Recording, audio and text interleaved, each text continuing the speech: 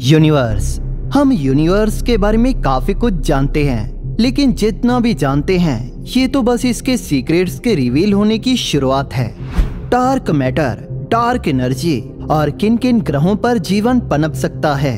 इन सवालों के जवाबों को जानने के लिए वैज्ञानिकों ने बहुत तरह के टेलीस्कोप्स का निर्माण किया है, जिन्होंने बहुत से सवालों का जवाब ढूँढने में हमारी मदद की है। जैसे Hubble space telescope Swift gamma ray burst explorer James Webb space telescope NASA ने हाल ही में एक नया प्रोजेक्ट स्टार्ट किया है, जिसमें वो एक और नया टेलीस्कोप स्पेस में लॉन्च करेंगे। और इस टेलीस्कोप की खास बात ये है कि ये नासा के लिए एक ग्राउंड बैक टेक्नोलॉजी के जैसा है, क्योंकि ये यूनिवर्स के कई राजों को खोल देगा। बिग बैंग से लेकर यूनिवर्स में आज तक जो भी बदलाव आया है, उन सबको समझने में मदद करेगा। सो गाइस इस वीडियो में हम जानेंगे मदर ऑफ़ हबल यानी Nancy Grace Roman space telescope के बारे में। सो गाइस शुरू करते हैं इस वीडियो को। मदर ऑफ़ हबल का पहले नाम था डब्ल्यू फ़र्स्ट यानी wide field infrared survey telescope जो कि अभी अंडर डेवलपमेंट है। ये टेलीस्कोप नैन्सी ग्रेस रोमन के ऑनर में डेवलप किया जा रहा है। और नैन्सी ग्रेस रोमन को मदर ऑफ़ हबल कहा जाता है, क्योंकि हबल टेलीस्कोप को बनाने में उनका बहुत बड़ा योगदान रहा है।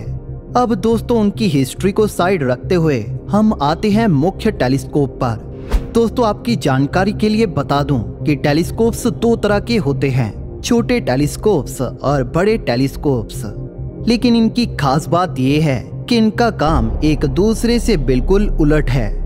कहने का मतलब है जो बड़े टेलीस्कोप हैं, वो छोटी इमेजेस कैप्चर करते हैं, और जो छोटे टेलीस्कोप्स हैं, वो बड़ी इमेजेस कैप्चर करते हैं, लेकिन उनकी इमेजेस इतनी क्लियर नहीं होती। डब्ल्यू फ़र्स्ट की खास बात यह है कि इस टेलीस्कोप में दोनों तरह के टेलीस्कोप की खूबियाँ मौजूद हैं। अगर हम हबल स्पेस टेलीस्कोप से इसकी तुलना करते हैं तो ये हबल टेलीस्कोप के मुकाबले 100 गुना बड़ी तस्वीर खींच सकता है, और उससे भी क्लियर दोस्तों, अगर हमें वही क्वालिटी सौ गुना क्वांटिटी में मिले तो इससे बढ़िया बात क्या है वैज्ञानिकों के लिए? और क्या हो सकती है? नासा का मानना है कि इस टेलीस्कोप के द्वारा इस काले अंतरिक्ष में करोड़ों ग्रह जो छिपे हुए हैं, उन्हें भी खोजा जा सकता है। इस टेलीस्कोप की एक इमेज में मिल्की वे जैसी करोड़ों गैलेक्सीज को एक साथ कैप्चर किया जा सकता है। अगर हम नासा के वैज्ञानिकों की माने तो इस टेलीस्कोप के ज़रिए हम जान पाएँगे कि यूनिवर्स के एक्सपेंड होने का कारण क्या है? हमारा यूनिवर्स अड़सठ प्रतिशत डार्क एनर्जी से बना है, पर इंसान डार्क एनर्जी के बारे में ना के बराबर ही जानते हैं। लेकिन डब्ल्यू फ़र्स्ट में डार्क एनर्जी को स्टडी करने के लिए दो दशमलव चार मीटर्स के डायमीटर का बहुत ही पावरफुल मिरर लगा है। नासा का मानना है कि यह टेलीस्कोप अपनी लॉन्च के बाद लगभग एक लाख एक्सो को खोजेगा। बोला जाए तो एक लाख हैबिटेबल प्लैनेट्स यानी कि एक lakh aliens NASA W first को छह साल के मिशन के लिए तैयार कर रहा है।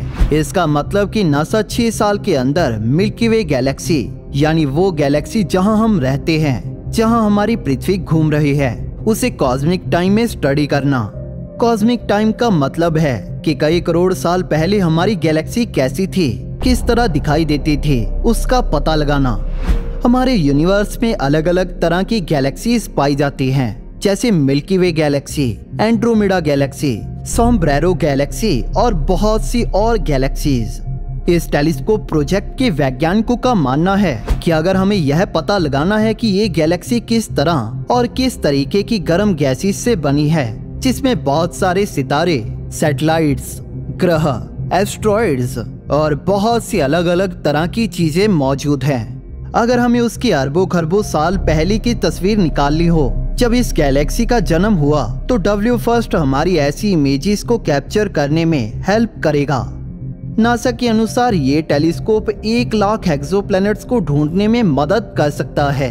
एक्सो वो प्लेनेट होते हैं, जो हमारे सोलर सिस्टम के बाहर मौजूद किसी और तरह के स्टार का चक्कर लगाते हैं। नासा के अब तक के best telescope Hubble space telescope की तुलना अगर नैन्सी ग्रेस रोमन टेलीस्कोप के साथ की जाए तो ये अब तक का बेस्ट टेलीस्कोप माना जा रहा है, क्योंकि हबल के मुकाबले एक साथ कई गैलेक्सीज की इमेज कैप्चर कर सकता है।